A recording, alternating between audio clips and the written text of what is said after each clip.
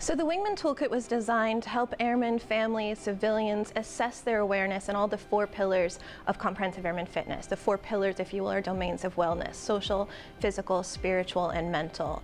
I love the app because it's accessible, it's easy to use. People can go on there in an instant in real time to cultivate that gratitude or have a reminder set to work out so that they're really uh, trying to be their best selves and it helps them facilitate and get to their best self.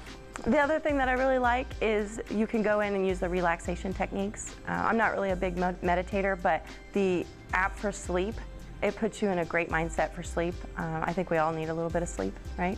So I, re I really enjoy that portion of it. Um, knocks me right out. My favorite part of the Wingman Toolkit app, honestly, is the social part because legit, when you go on it, you can actually see that there's a social media you can actually, wait for it to load, you can actually see like little pictures of people posting funny comments and stuff like that. Because honestly, to me, like having a laugh is the best part of the day because I'm like one of the happiest people you ever meet, but even I get down sometimes, so sometimes all I do is I'll get on here, I'll give myself a laugh, and I'm good to go. So you can access the toolkit at www.wingmantoolkit.org. And so that website has assessments on all of the four pillars of wellness or domains of wellness, as well as information on master resilience training, comprehensive airman fitness, as well as all of the resources that one would need if they were in a crisis situation. Everything that is on the website is also on the app itself.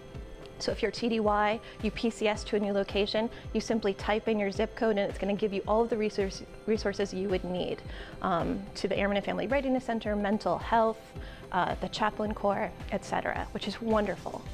So it's real, real time, something that everyone can use.